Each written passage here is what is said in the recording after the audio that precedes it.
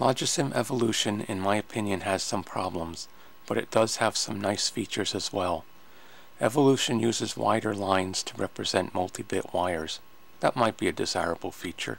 But it also has more functional features such as the chronogram and the ability to create VHDL and Verilog output. So in this video I'll show the conversion process of my CPU and computer from the original Logisim to Logisim Evolution. The first step is to get my circuit to load without errors. If you don't use any jar libraries, this step probably won't be necessary for you. I, however, use lots of jar libraries, one of which is used to give the original Logisim some components from Evolution. This step requires the editing of the XML circ file. Since I'll be using Evolution, this jar library can be taken out, making sure to take out all of the jar library declaration. I also need to add the component section specific to evolution and the Cornell section since I'll be using Cornell's version of evolution. And since it is Cornell's version, I don't need my CS3410 for 271 library. So let's take it out. Also need to take out the sound buzzer library since it doesn't work in evolution. If I had the source code to the buzzer, I could make it work, but I don't. Also need to search for lib equals 9 to take out the buzzer component. And since I took out my evolution component library, I have to search for all lib equal 8s and change the library to the appropriate number. BCD stuff becomes 7. RGB LED and dip switch become 5.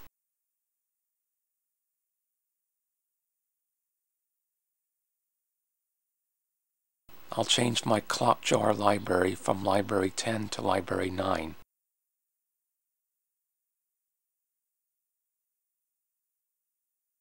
This means I'll have to change RT clock to lib equals 9. I do this because I will be putting in my forev jar library and I'm making it library 10. So let's add that section. Among other things, this library contains my changes to Cornell's video screen. So I need to change the video component to library 10. Evolution is pickier about the same name being used for different things. This applies to labels as well. So to avoid a conflict, I have to change clock to mclock in the tunnels labeled clock.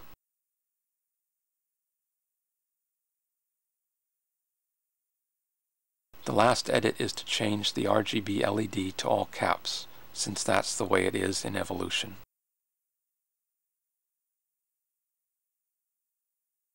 Now I can load it without any errors.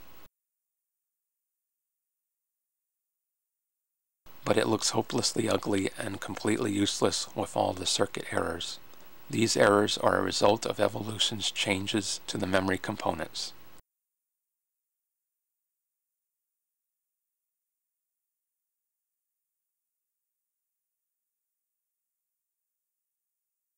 I wouldn't want to save the file in Evolution or make any changes within Evolution at this point. So back to editing. The second step is to get it to look a little nicer by making the labels better. You may have noticed all those weird hex digits after many of the labels.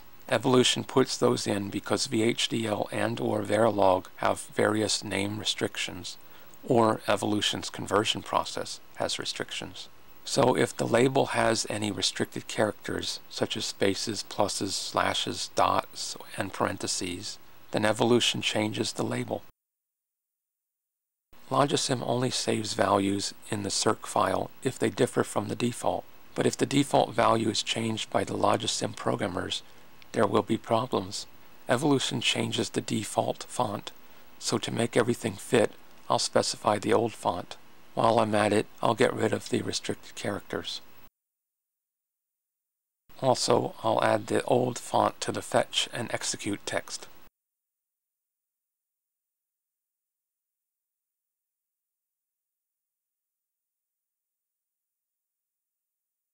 Now it looks a lot better, but I still wouldn't want to save it in Evolution. The third step is to switch from Evolution's memory components to the original Logisim memory components by using my forev library.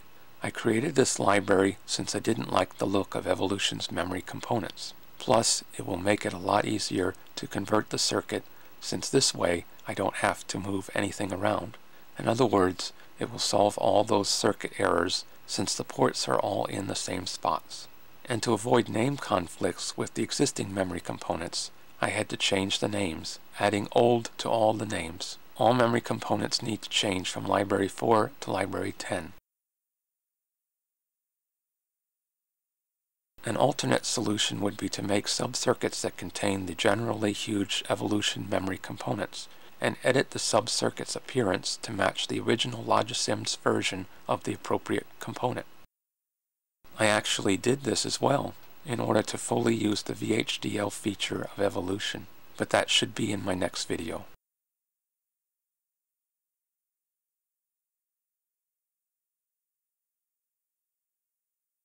Now the circuit looks good and will now run.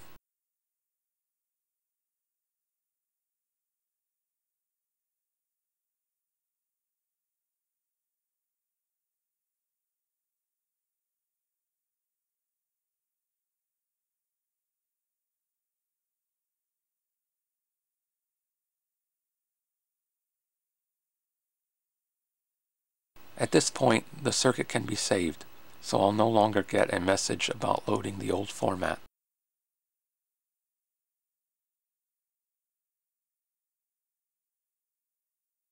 Let's also fix an annoyance. For some reason, in Evolution, on some computers, the background of the TTY screen flickers. So let's change the background opacity to zero.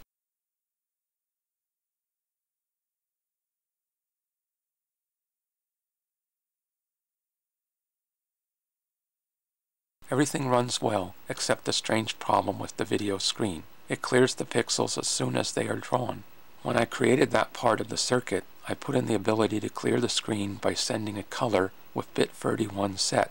For some reason that bit is being set even though this program never sets it. The A register shows this. After looking at various things, I noticed that the bit extender is now signed. Evolution changed the default extender behavior from 0 to signed. And remember, if the attribute is the default, it is not saved in the circ file. So now evolution thinks it should be signed. Let's change it to zero. And now it doesn't clear the screen when it's not supposed to.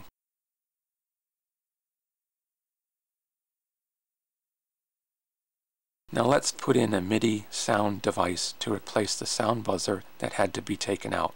The creator of this device did include the source code, so I was able to make it work in Evolution.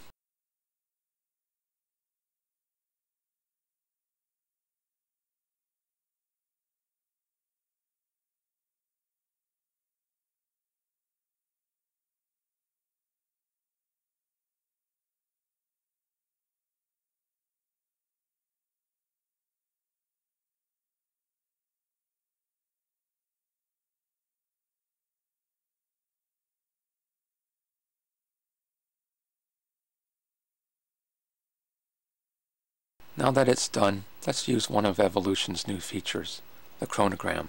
To get a real-time interactive chronogram, there has to be a clock named sysclk. So let's label the clock that.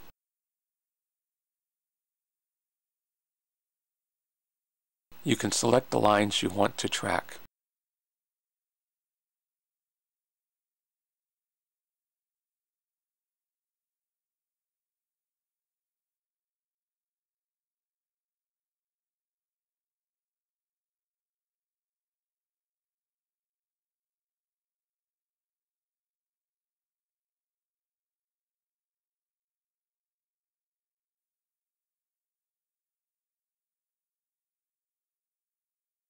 You can select which data format to use. However, for some reason, sometimes it ignores your setting and uses binary instead, and in this case, 32-bit binary values, which take up a lot of space. Another evolution feature is conversion to VHDL, but if all goes well, that will be my next video.